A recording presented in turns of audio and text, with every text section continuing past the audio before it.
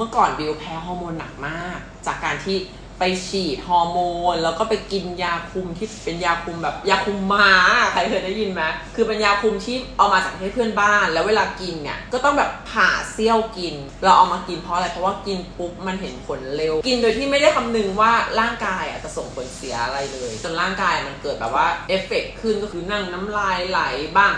เอ๋อบ้างพูดไม่รู้เรื่องบ้างเบลอบ้างนะคะ คือเรียนแทบไม่ได้เลย จนไปปรึกษาคุณหมอคุณหมอว่าร่างกายของบิวอะมันเริ่มที่จะมีการต่อต้านพวกฮอร์โมนสังเคราะห์ความสวยอะมันต้องมาคู่กับสุขภาพที่ดีสิทำไมอันเนี้ยความสวยมันทำให้เราสุขภาพแย่ ก็เลยรู้สึกว่าถ้ามันเป็นแบบเนี้ยก็คือแบบไม่กินดีกว่าขออยู่แบบปกติธรรมดาดีกว่า พอหยุดปุ๊บสุขภาพร่างกายเริ่มดีขึ้น แต่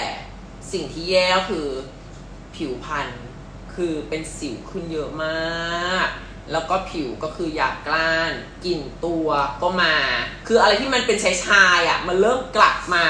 ก็หลังจากนั้นก็มาชวนนิสาผ่านไปประมาณปีกว่าเอามาทดลองกับตัวเอง เอาไปทดลองกับคนในสตู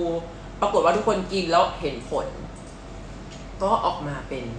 ฟิโรเนโลเน่แต่เป็นสูตรก่อนหน้านี้นะ เป็นสูตรที่แบบว่ายังไม่มีพัดสูตรนี้เพิ่มฮอร์โมนเข้าไป ให้มากกว่าเดิม